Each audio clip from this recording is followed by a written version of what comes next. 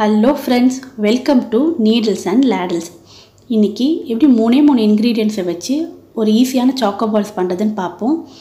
அதுக்கு ஒரு பேனை நல்லா சூடு பண்ணிக்கோங்க. அதில் ஒன்றரை டீஸ்பூன் அளவுக்கு வெண்ணெய் போட்டு நல்லா உருக்கிடுங்க. உருகின உடனே நூறு எம்எல் அளவுக்கு கண்டன்ஸ் மில்க் போட்டுட்டு நல்லா கலந்து விட்டுக்கோங்க. நல்லா கலந்த உடனே ஒரு டேபிள் ஸ்பூன் அளவுக்கு கோகோ பவுடர் போட்டுட்டு கலந்துருங்க. இதெல்லாம் நல்லா கலந்து வந்த உடனே ஸ்லோ ஃபயரில் வச்சு மிக்ஸ் பண்ணிகிட்டே இருங்க. இந்த மாதிரி திக்கான உடனே வெண்ணெய் தடவின ஒரு பிளேட்டில் இதை மாற்றிக்கோங்க இப்போ இதை ஒன் ஹவர் ஃப்ரிட்ஜில் வச்சு எடுத்துருங்க.